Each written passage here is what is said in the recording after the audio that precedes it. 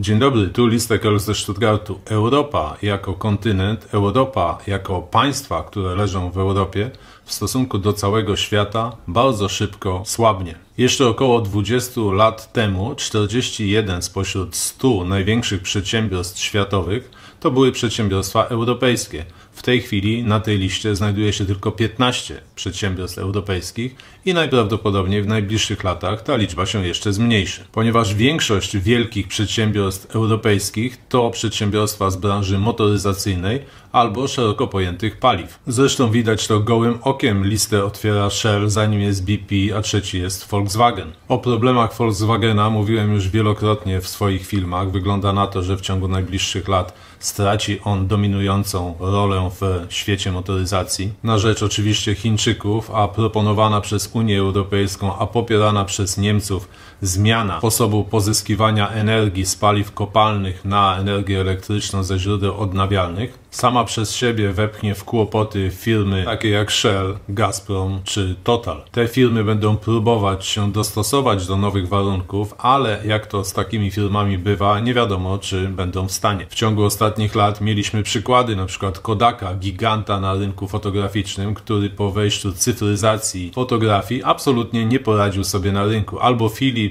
albo 100 tysięcy innych przykładów. Wygląda na to, że ważne gałęzie współczesnej gospodarki światowej po prostu nie są i prawdopodobnie nie będą europejskie. Zresztą widać to na prostym przykładzie banków. Największy bank amerykański JP Morgan w ciągu ostatnich lat zwiększył swoje obroty i zyski, a europejskim bankom Santanderowi albo Deutsche Bank spada. Zresztą usługi finansowe przesuwają się do telefonów, do usług typu Apple Pay, Google Pay, Samsung Pay i wszystkich stojących w tle przedsiębiorstw typu Visa i Mastercard. Wszystkie te firmy nie są europejskie, chociaż wszyscy my, Europejczycy, korzystamy z ich usług niemiecki projekt EC, który miał być odpowiedzią na potęgę Wizy i Mastercard wtedy, kiedy karty pojawiały się na rynku, czyli też jakieś 30 lat temu, właśnie się kończy i nie będzie już kontynuowany. Niemieckie szparkasy więcej kart EC nie będą wydawać. Ponadto na rynku nowych technologii w Europie nie ma praktycznie żadnej firmy, którą można by porównać z takimi gigantami jak Apple czy Amazon. Zresztą praktycznie każde europejskie przedsiębiorstwo używa w tej chwili usług cloudowych, czyli systemów nie zainstalowanych na serwerze gdzieś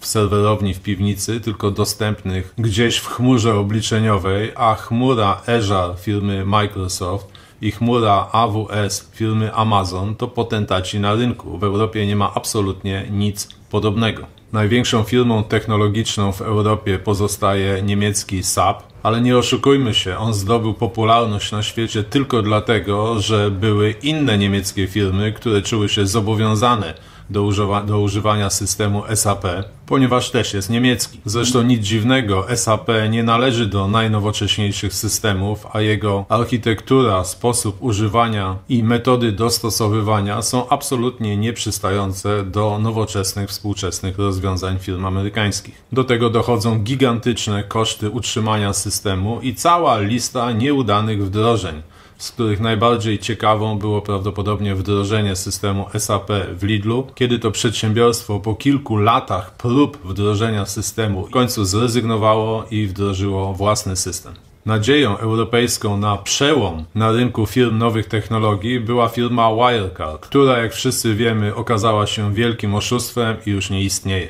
Na tych przykładach i wielu innych widać dokładnie, że firmy europejskie straciły kompletnie umiejętność innowacji i dostosowywania się do światowych trendów ekonomicznych. Jak tak dalej pójdzie, to europejskie firmy, a za nimi cała Europa, straci znaczenie gospodarcze na świecie. Już teraz Niemcy powoli oddają rynek europejski chińskim producentom samochodowym. Ten trend widać. W Europie nie produkuje się ani komputerów, ani smartfonów, ani konsol do gier, ani innej elektroniki użytkowej. No, pozostają jeszcze pralki i lodówki, ale jak tak dalej pójdzie, to również one zostaną wypchnięte z rynku i zastąpione chińskimi markami. Zresztą tu na rynku niemieckim już przebija się firma Haier, największy chiński producent pralek. Tylko wiara Niemców w to, że Bosze, Siemensy i Miele to najlepsze na świecie pralki, utrzymuje te firmy jeszcze na rynku. To wszystko pokazuje, że Europa nie idzie z trendem ekonomii światowej, tylko upiera się przy tradycyjnych gałęziach gospodarki i upiera się przy tym, żeby było tak, jak było. Nie zważając na to, jakie konsekwencje będzie miało to dla krajów europejskich i dla obywateli, dla nas, którzy tutaj mieszkają. Jak już mówiłem, największe światowe firmy amerykańskie i chińskie to technologie i handel, a największe firmy europejskie to samochody i paliwa kopalne. Wszystko to jest bardzo dziwne, ponieważ Europa była najbardziej innowacyjnym kontynentem w XIX wieku podczas rewolucji przemysłowej. O ile przed rewolucją przemysłową cały świat rozwijał się, to XIX wiek wyniósł Europę na wyżyny światowej ekonomii. Europejczycy stali się bogaci, co pozwoliło im skolonizować inne regiony świata, a dzięki koloniom stali się jeszcze bogaci. I to w ekstremalnie szybkim czasie wystarczyło tylko kilka dekad, żeby wynieść Europę na szczyty. Wtedy to powstawały nowe maszyny, automatyzacja, nowe sposoby pracy, ale także zmiany społeczne, takie jak demokracja liberalna albo wyzwolenie kobiet. I mimo dwóch wojen światowych, gospodarka europejska trzymała się całkiem dobrze do mniej więcej lat 60. W latach 60. jeszcze Europa posiadała około 1 trzeciej światowej ekonomii. W tej chwili tylko 15%. Wygląda na to, że Europa i Europejczycy, europejskie kraje, ich rządy i my, obywatele, robimy coś nie tak. Dlaczego Europa zmienia się w ekonomicznie i technologicznie przestarzały kontynent, przynajmniej w porównaniu z Ameryką i Chinami? Jednym z powodów mogą być nadregulacje prawne. Regulacje prawne oczywiście są ok, jeśli chodzi o dbanie o obywateli, dbanie o klimat, dbanie o środowisko, ale nadregulacje powodują przeszkody w rozwijaniu biznesów. Europejskie kraje, w tym Francja, Niemcy i Polska, wprowadziły w ciągu ostatnich dziesięcioleci gigantyczną ilość regulacji ograniczających możliwości swobodnej działalności gospodarczej. Czasami może być to doprowadzone do absurdu. Na przykład w Niemczech homologowane muszą być lampy rowerowe. Na lampie rowerowej, tylnym światełku świecącym na czerwono, musi być znak homologacji, żeby policjant w razie kontroli mógł sprawdzić, czy dobrze świecisz żaróweczką do tyłu na swoim rowerze, czy nie. A dodatkowo do regulacji poszczególnych krajów doszły regulacje unijne. Przed laty śmialiśmy się z unijnych definicji marchewki, banana, ryb i tym podobnych rzeczy. W tej chwili mamy Digital Service Act, który ogranicza możliwość rozwoju biznesu amerykańskim firmom Big Tech, a Unia Europejska zajmuje się tym, jakim kabelkiem ma być zasilany telefon albo aparacik a nawet planuje w ostatnim projekcie zmusić producentów smartfonów do tego, żeby w każdym mogła wymieniać się bateria. I to tak, żeby użytkownik był sam w stanie to zrobić. I nie oszukujmy się, mimo że to czasami tak wygląda, Unia Europejska nie robi tego dla nas. Narzucanie coraz to nowych ograniczeń na firmy zagraniczne jest ochroną rynku europejskiego. Niestety chronimy rynek europejski przed amerykańskimi i chińskimi producentami smartfonów, sami w Europie tych smartfonów nie produkując. Jeszcze w tej chwili Europa jest znaczącym rynkiem zbytu, ale jeśli będziemy biednieć, a wygląda na to, że będziemy, przestanie być znaczącym rynkiem zbytu dla Chińczyków czy Amerykanów i wtedy ze względu na regulacje europejskie po prostu tych smartfonów czy tych nowych wynalazków w Europie nie będzie, bo producentom nie będzie się chciało, nie będzie się opłacać dostosowywać swoje urządzenia do ciągłe rosnących regulacji europejskich. Zresztą nie tylko zagraniczne firmy, efekt tego jest taki i to widać już w tej chwili, że jeśli w Europie pojawia się innowacyjny przedsiębiorca, który coś nowego chce na rynek wprowadzić, to robi to w Stanach Zjednoczonych. Tam jest duży rynek zbytu i tam jest łatwiej. Ponadto Unia Europejska trwa już tak długo, a cały czas nie udało jej się zbudować jednolitej sytuacji prawnej we wszystkich krajach europejskich. Jednolitej sytuacji prawnej, jeśli chodzi o prowadzenie biznesu. Tutaj Europa się skupia na lobbystach, którzy lobbują dla tego czy innego kraju. Efekt jest tego taki, że mamy przepisy ułatwiające Niemcom, Francuzom albo Włochom prowadzenie swoich tradycyjnych, nierozwojowych, nieinnowacyjnych biznesów. A te same przepisy ograniczają możliwość innowacyjnego rozwoju innych krajów. Czyli Unia Europejska dba o zachowanie status quo, oraz o ograniczenie wpływów zagranicznych, powodując przyspieszenie w traceniu znaczenia Europy na rynkach światowych. A wydaje się, że cel Unii Europejskiej powinien być zupełnie inny. Unia Europejska powinna nie zabraniać, tylko promować rozwiązania innowacyjne, budować możliwości dla firm europejskich przebicia się i podbicia nowymi rozwiązaniami rynków światowych. No niestety, tak jest i wygląda na to, że w najbliższych latach niewiele się zmieni, jeśli zobaczymy, jakie ustawodawstwo Unia Europejska planuje.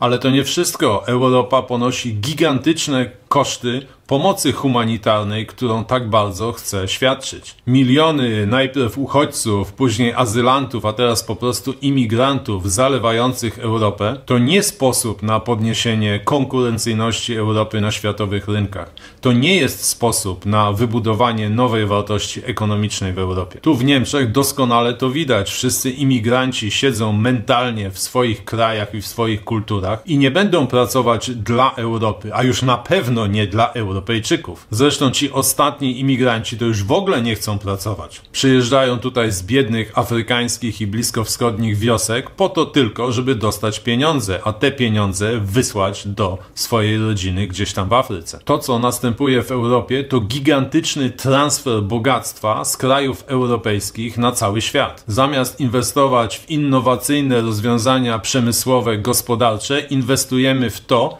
żeby lepiej się żyło gdzieś na erytrejskiej wiosce. Inwestycja w imigrantów jest inwestycją w wioskę erytrejską, a nie w dobro Europy. Ta inwestycja się nigdy nie zwróci. Imigranci nie spowodują tego, że w Europie będzie lepiej, bo będzie miał kto pracować, tylko spowodują to, że w erytrejskiej wiosce albo w strefie gazy będzie się trochę lepiej żyło. Już dawno przekroczyliśmy tę niewidzialną granicę pomiędzy pomocą humanitarną a grabieżą własnego kraju, grabieżą własnego kontynentu. Ale patrząc na działania polityki, wygląda na to, że to się w ciągu najbliższych lat nie zmieni i będzie tak trwało, dopóki Europa nie łupnie po prostu na dno. Teoria mówi, że mamy jako społeczeństwo na to wpływ, możemy sobie wymienić polityków, ale politycy rozumieją demokrację chyba trochę w inny sposób niż my społeczeństwo. Nam się wydaje, że wybieramy polityków po to, żeby nam się żyło lepiej, a politycy chcą być wybrani tylko i wyłącznie po to, żeby im się żyło lepiej. Dochodzimy do takiej sytuacji, że wybory nie mają większego sensu dla reszty społeczeństwa oprócz klasy politycznej. Dochodzimy do takiej sytuacji, że nasza demokracja liberalna niewiele się różni od systemów, które nazywamy dyktaturami, na przykład do systemu chińskiego. Jeden z niemieckich publicystów udowadniał, że w tej chwili mamy około 20% demokracji. 80% tego, co robią politycy, nie jest robione dla ogólnego społeczeństwa. I jeszcze gorzej, to jest obojętnie, która partia rządzi albo która koalicja, sytuacja się nie zmienia. Kierunek polityczny, polityczno-gospodarczy, polityczno-gospodarczo-społeczny Unii Europejskiej i rządów poszczególnych krajów, które od Unii Europejskiej są zależne, pozostaje niezmieniony, niezależnie kto rządzi w Polsce, w Niemczech, we Francji. Najlepszym przykładem tego jest pani Meloni we Włoszech, która pokrzyczała, pokrzyczała, a teraz robi dokładnie to, co musi postępuje według wzorców i według instrukcji, które przychodzą z Unii Europejskiej. Wygląda na to, że europejskość, Unia i ta cała wspólnota nie prowadzą nas do końca w dobrym kierunku. I do tego nie ma interesu europejskiego. Są interesy poszczególnych krajów i każdy za pomocą lobbystów próbuje swoje interesy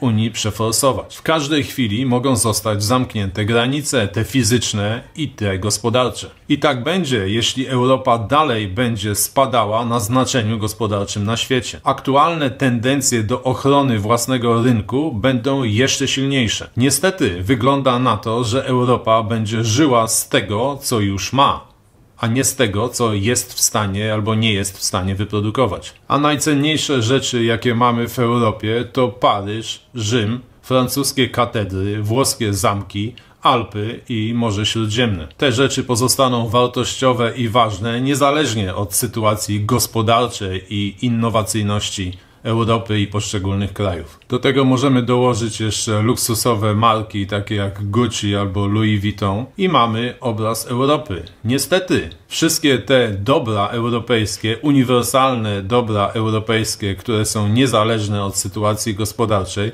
znajdują się tylko w niektórych krajach. A Niemcy, Polska, Szwecja, Czechy i inni takich dóbr po prostu nie mają. Dlatego jeśli proces biednienia Europy będzie dalej przebiegał w takim tempie, w jakim przebiega, to kraje takie jak Francja i Włochy zamkną swoje granice. Nie będą chcieli się dzielić swoim bogactwem, bogactwem naturalnym z innymi. Ale jeśli migracja nie zostanie powstrzymana i dalej będą napływać takie ilości migrantów do Francji, do Włoch, do Niemiec, do całej Europy, to na naturalnych bogactwach Europy skorzystają nie Europejczycy, tylko potomkowie Syryjczyków, Irakijczyków albo Afgańczyków. Jeśli oczywiście nie zburzą wcześniej włoskich i francuskich katedr jako niezgodnych z Koranem. Listek Elf, pozdrawiam dzisiaj z multikulturalnego Paryża, zalanego jak cała Francja i cała Europa imigrantami. Odezwę się jeszcze,